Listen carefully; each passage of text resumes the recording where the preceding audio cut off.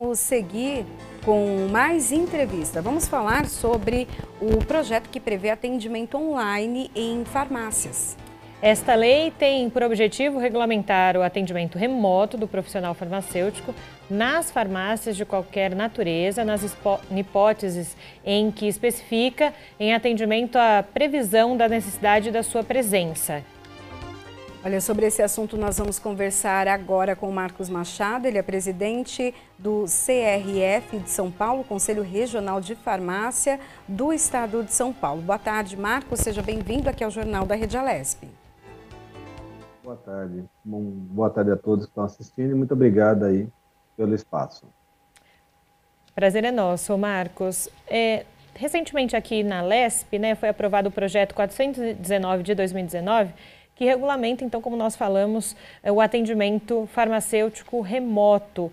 Como essa possibilidade vem beneficiar a população? Não vem beneficiar em nada. Então, assim, esse projeto era o projeto de lei já número 414 de 2019, apresentado pela deputada Maria Lúcia Amari, é, e ela não traz nenhum benefício para a população nesse momento, inclusive, é, preciso dizer algumas coisas que são importantes. Desde que se iniciou a pandemia, aliás, está fazendo um ano da pandemia instalada no Brasil, existiram dois estabelecimentos que não fecharam no Brasil, estabelecimentos de saúde. Os hospitais não fecharam em nenhum momento e as farmácias. Consultórios médicos fecharam, clínicas médicas fecharam, uh, consultórios odontológicos fecharam, laboratórios de análises clínicas fecharam, mas a farmácia não fechou. E em todo esse tempo, uh, a população procurou o farmacêutico em diversos horários para poder conversar sobre a pandemia, para tirar suas dúvidas, até para comprar medicamentos, mas inclusive tivemos uma, uma, uma é, procura enorme por medicamentos como se fossem curativos, fossem medicamentos que realmente fossem preventivos e que curassem a Covid, e o farmacêutico esteve lá o tempo inteiro. Desde que se iniciou a pandemia, os farmacêuticos estão lá para tirar dúvidas. O projeto de lei da deputada Maria Lúcia Amari prevê é, coisas que são absolutamente inconstitucionais. A lei estadual, ela fere o artigo 6 da, 13, da Lei 13.021, que é uma lei federal, é, em que não permite a, a, a, o funcionamento das farmácias sem a presença do farmacêutico. Uhum. E ela traz é. uma série de, uhum. de colocações que não são é, é, fere inclusive legislações trabalhistas. A lei passou de uma. Nós pegamos a conversar com a deputada Maria Lúcia Amari, há colocações na lei que ferem inclusive a questão trabalhista. Então, é, não foi uma lei debatida com, com, com os órgãos. Nós chegamos a conversar, colocamos as dificuldades, os problemas que ela poderia trazer e não fomos ouvidos. A lei foi, passou esse ano num acordo de líderes na Assembleia Legislativa mas ela traz problemas para a sociedade, ela não traz benefícios.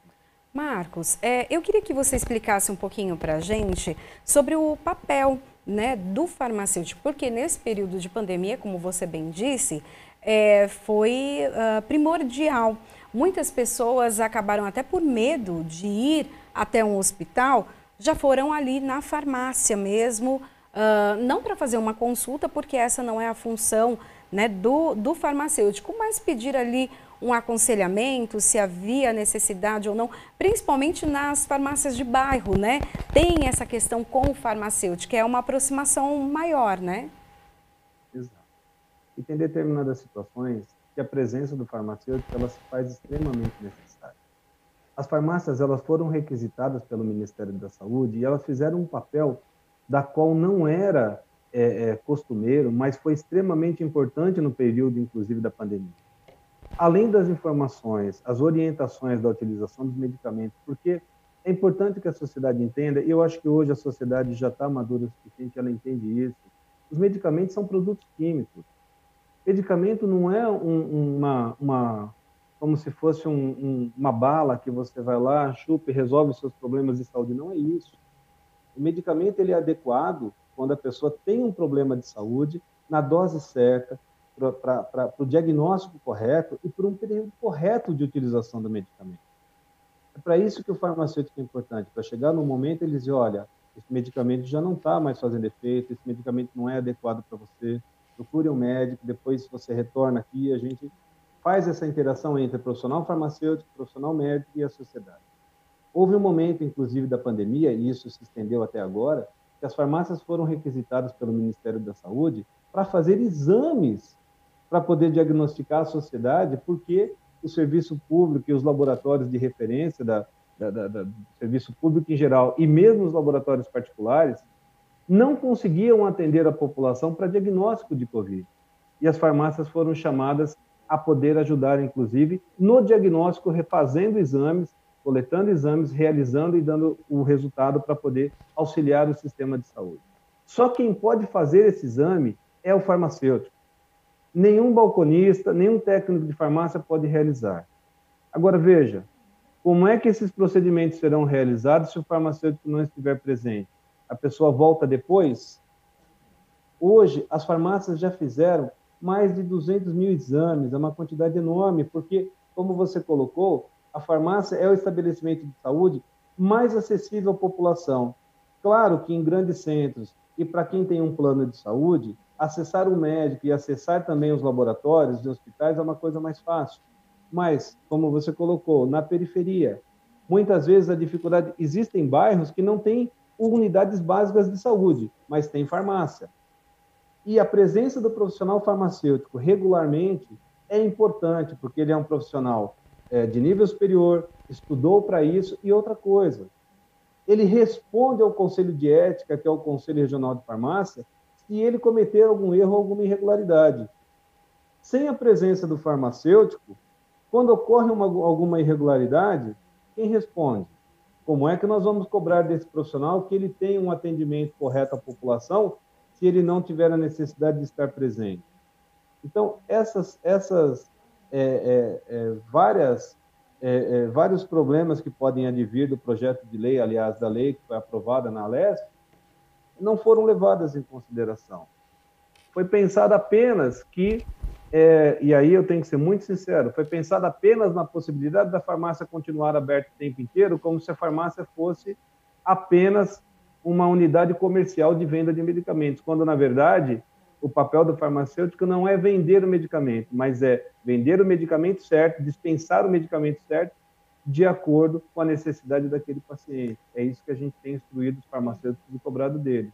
Marcos, então nos preocupa muito a aprovação dessa lei. Até no caso uh, do atendimento às pessoas, né, ao público, é, a gente vê que há uma exposição grande, então, dos, tanto dos farmacêuticos quanto dos atendentes ali naquele ambiente. Eu queria que você falasse um pouquinho das medidas adotadas também para prevenção de quem trabalha na farmácia, né? já que uh, a maioria da população foi até a farmácia nesse período de pandemia você tocou no ponto certíssimo. Assim, é muito legal quando as pessoas fazem as perguntas certas.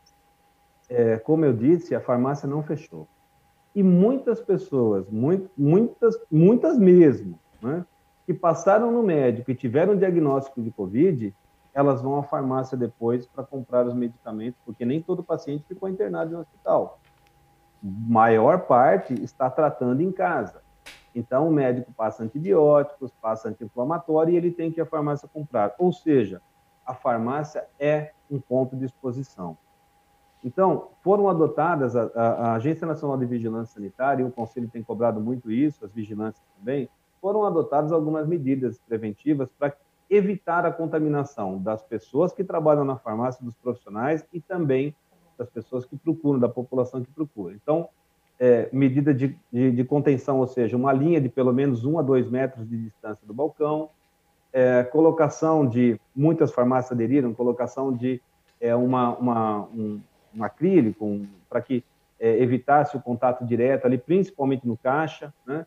Nos, nos, nos, balcões não foram colocados em todas as farmácias, porque é, perde aquele contato com o paciente, então tinha essa preocupação de, de poder continuar dando uma boa assistência, mas foi colocada a distância é, não deixar acumular filas e manter a fila com pelo se tiver pessoas aguardando com pelo menos um metro e meio de distância. Várias medidas foram adotadas pela Agência Nacional de Vigilância Sanitária. Mas uma medida que é muito importante, eu estive a questão de 10 dias atrás, uma semana, 10 dias atrás, com o secretário da Casa Civil de São Paulo, e eu disse isso a ele, eu falei, secretário, nós precisamos vacinar os farmacêuticos e a equipe de trabalho das farmácias. Por quê?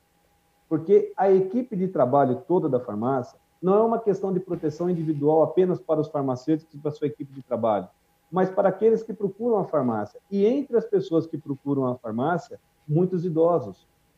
Então, é muito importante que os farmacêuticos e a equipe de profissionais da farmácia estejam na prioridade de vacinação, não porque eles querem ser vacinados e isso é, é uma forma de ser vacinado primeiro, não é isso.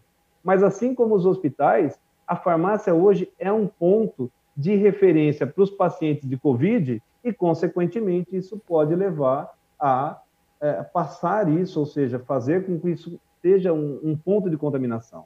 Expliquei isso para o secretário de Saúde de São Paulo, expliquei para o secretário da Casa Civil, o secretário de Saúde do município de São Paulo me autorizou, nós fizemos a vacinação dos, dos farmacêuticos com mais de 60 anos dentro do conselho, mas ainda acho que é necessário colocar a vacina à disposição das farmácias, dos farmacêuticos, das suas equipes, para evitar que esse seja um ponto de contaminação para outras pessoas, assim como o hospital tem sido feito. Me preocupa muito essa situação. Marcos, é, uma outra questão também que ficou muito em voga nesses últimos meses de pandemia, é, e nós debatemos aqui também na Rede Alesp, a questão da telemedicina, não é? E que também é, poderia chegar às farmácias, então, com aquele atendimento e com a receita online ali e pedir para os farmacêuticos, para farmacêutico, para o atendente, enfim, é, pegar aquele, aquele medicamento. Como é que o senhor analisa, para a gente encerrar a nossa entrevista, como é que o senhor analisa essa questão? Vai poder ser usado isso no pós-pandemia também ou é algo de momento? Eu sei que é importante o tempo para vocês, mas esse assunto é extremamente importante. A receita online, ela foi, é, já vem sendo discutida há alguns anos de como seria feito isso, mas quando chega a pandemia, muitas coisas são colocadas assim rapidamente porque a sociedade precisa. Enfim, nós ficamos um período de quase lockdown. Né? Então, como eu disse no início da conversa, e a sua pergunta vem bem ao encontro disso, os médicos pararam de atender. Simplesmente os consultórios pararam de atender pacientes que necessitavam de utilizar medicamentos de uso contínuo. Qual foi a solução encontrada? A receita online. Então, através de algumas plataformas que foram desenvolvidas rapidamente durante a pandemia, os médicos puderam é, continuar fornecendo receita daquele, para aqueles pacientes que precisavam é, de medicamentos de uso contínuo. Isso se estendeu, hoje alguns médicos têm utilizado nos seus consultórios. Isso é benéfico. Mas a consulta online, a consulta feita através de plataformas, é preciso colocar algumas observações. Ela serve bem para pacientes de retorno, então, por exemplo, você vai ao médico, você já tem um diagnóstico, você tem um tratamento, e quando você precisa de novamente conversar com o médico, você acessa a plataforma. Ok. Mas consultas novas, absolutamente ineficaz. Como é que o médico vai aferir os parâmetros biológicos seus que são necessários? Pressão arterial, como é que ele vai conversar, como é que ele vai medir batimentos cardíacos? Online. Isso não é possível. Então, quando, inclusive, surgiu esse projeto na LESP, foi levantada essa questão, olha, mas os médicos estão fazendo consulta online. Não, é preciso diferenciar.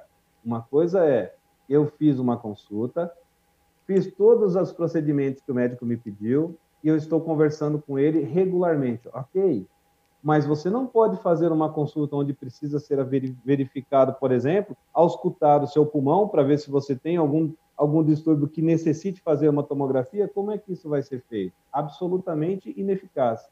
Então, a consulta online para os médicos, existem restrições que não são absolutamente abertas para todos.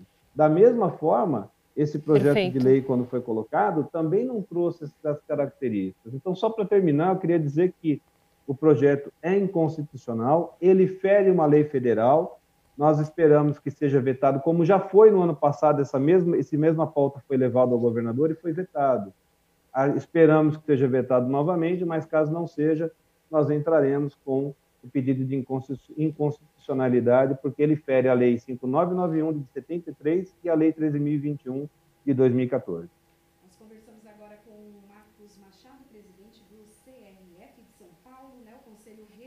Nós conversamos então com o Marcos Machado, só é, um minuto, Pri, para organizar aí o seu, seu áudio. Uh, a gente conversou com o Marcos Machado, presidente do Conselho Regional de Farmácia. Muito obrigada e a gente continua Obrigado aqui no Jornal da Rede Alesp, deixando é, claro aqui que a nossa última questão foi com relação é, ao uso das receitas online, que, como o Marcos disse, facilitou a vida da população nesse momento de pandemia.